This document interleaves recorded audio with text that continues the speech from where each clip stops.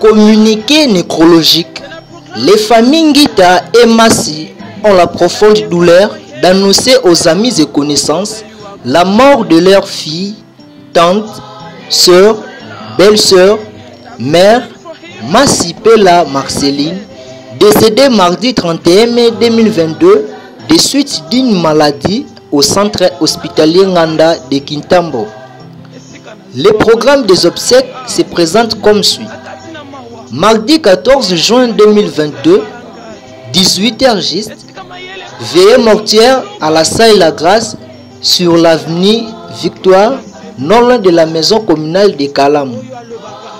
Mercredi 15 juin 2022, 9h juste, levée du corps de la morgue du cinquantenaire.